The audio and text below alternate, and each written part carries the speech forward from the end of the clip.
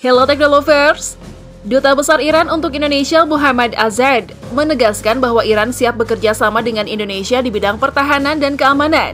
Menurut Azad, Iran memiliki pengalaman pertahanan yang baik karena telah berperang dengan Amerika Serikat selama 8 tahun, sehingga Indonesia dapat memiliki pengalaman ini. Waduh, tapi by the way, coba kita lihat perbandingan kekuatan militer antara Indonesia dan Iran berikut ini.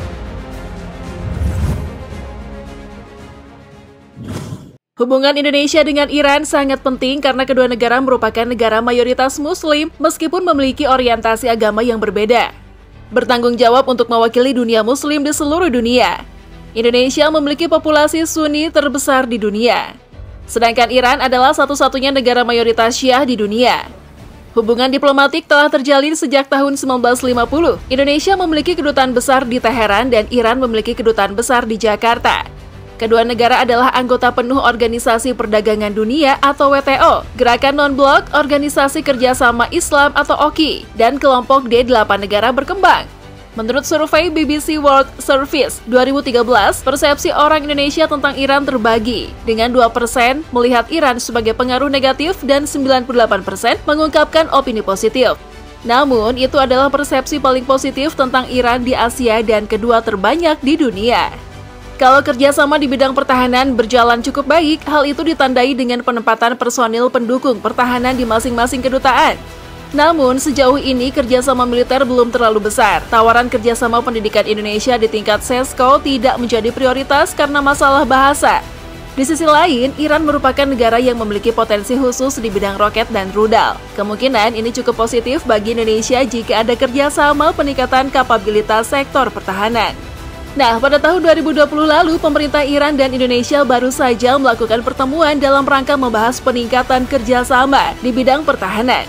Terkait hal tersebut, Duta Besar Iran untuk Indonesia Muhammad Azad secara aktif terlibat dengan pemerintah Indonesia, termasuk melakukan pertemuan dengan Menteri Pertahanan RI Prabowo Subianto. Nah, untuk itu coba kita lihat perbandingan militer antara kedua negara ini. Berdasarkan situs Global Firepower, Indonesia menduduki peringkat ke-13 dari 145 negara di dunia dengan indeks skornya 0,2221 dan kalian tahu Iran berada di posisi ke-17 dari 145 negara yang terdaftar dengan indeks skor 0,2712. Iran memiliki jumlah personil aktif sebanyak 575 ribu, 350 ribu personil cadangan, 90 ribu paramiliter, 45 ribu personil angkatan udara, 350 ribu personil angkatan darat, dan 20 ribu personil angkatan laut. Sementara Indonesia memiliki 400 ribu personil aktif, 400 ribu personil cadangan, 280 ribu paramiliter, 40 ribu personil angkatan udara, 300 ribu personil angkatan darat, dan 75 ribu personil angkatan laut. Sehingga sehingga tentu saja Indonesia memiliki lebih banyak personil.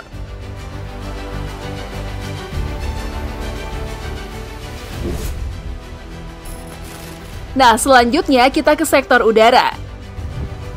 Pesawat tempur Indonesia 41 unit, sedangkan Iran 196 unit. Pesawat serangan khusus Indonesia 37 unit, sedangkan Iran 23 unit. Pesawat pengangkut Indonesia 67 unit, sedangkan Iran 86 unit. Pesawat latih Indonesia 127 unit, sedangkan Iran 94 unit. Pesawat misi khusus Indonesia 17 unit, sedangkan Iran 9 unit. Helikopter militer Indonesia 176 unit, sedangkan Iran 126 unit. Helikopter serang Indonesia 15 unit, sedangkan Iran 12 unit. Untuk sektor udara dengan posisi Iran di peringkat ke-21 dengan jumlah alutsista 541 unit. Tentu saja Iran mengungguli Indonesia yang berada di peringkat ke-25 dengan 466 unit alutsista. Beda tipis lah ya.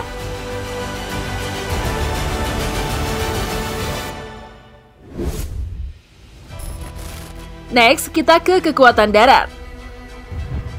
Tank Indonesia 314 unit sementara Iran 4071 unit. Kendaraan lapis baja Indonesia 12.008 unit sementara Iran 69.689 unit. Artileri gerak Indonesia 153 unit sementara Iran 580 unit. Artileri derek Indonesia 414 unit sementara Iran 2050 unit. Proyektor roket Indonesia 63 unit sementara Iran 1085 unit. Kalau dijumlahkan, armada darat Indonesia sebanyak 12.952, sementara Iran 77.471 unit. Dan lagi, Iran lebih unggul daripada Indonesia. Sangat jauh loh.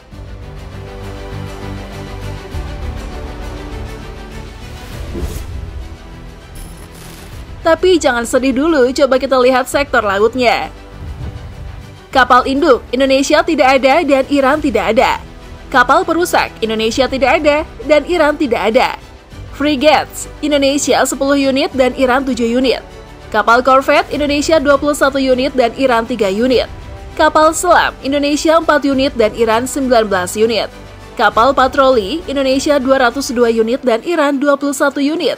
Kapal perang ranjau, Indonesia 13 unit dan Iran 1 unit. Dari data ini, Indonesia mengungguli Iran dengan total aset sebanyak 324 unit, sementara Iran hanya memiliki 51 unit alutsista lautnya. Meski di sektor udara dan darat tadi Indonesia tertinggal cukup jauh ya.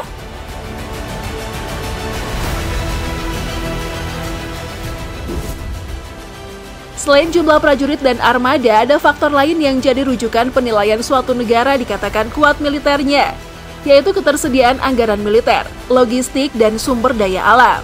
Anggaran militer Indonesia 8 miliar 800 juta US dollar atau setara 136 triliun 994 miliar rupiah. Sementara Iran 54 miliar 200 juta US dollar atau setara 812 triliun 187 miliar rupiah.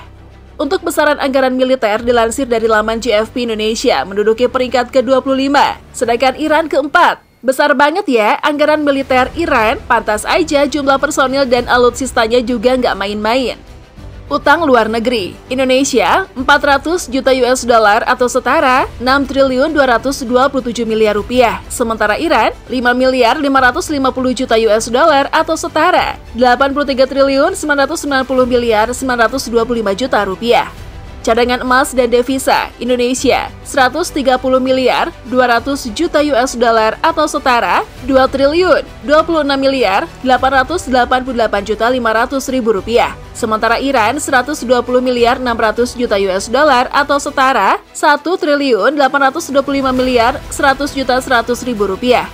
Keseimbangan kemampuan belanja Indonesia 3 triliun 130 miliar 470 juta US dollar atau setara 48 triliun 733 miliar 591 juta 725 ribu rupiah. Sementara Iran 1 triliun 44 miliar 310 juta US dollar atau setara 15 triliun 804 miliar 65 juta 385 ribu rupiah.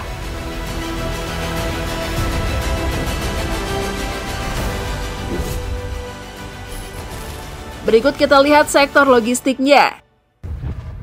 Angkatan Kerja Indonesia 130 juta jiwa dan Iran 30 juta 500 ribu jiwa. Kapal sipil Indonesia 10.427 unit dan Iran 893 unit. Pelabuhan dan terminal utama Indonesia 16 dan Iran 4. Bandara Indonesia 673 dan Iran 319. Cakupan jalan raya Indonesia 873.573 km persegi dan Iran 223.485 km persegi. Rel kereta api Indonesia 8.159 km persegi dan Iran 8.484 km persegi.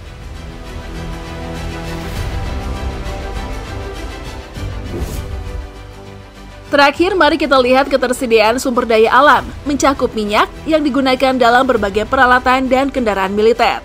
Produksi minyak, Indonesia 845 ribu barrel, sedangkan Iran 3.450 ribu barrel.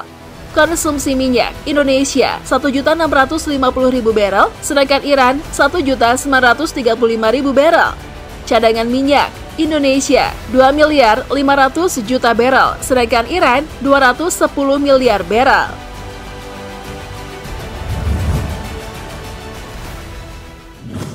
Itulah perbandingan kekuatan militer Indonesia versus Iran. Jadi kalian udah tahu dong siapa paling unggul? By the way, jangan lupa like, share, dan tinggalkan komen kamu di bawah. Sampai jumpa besok dan terima kasih sudah menonton.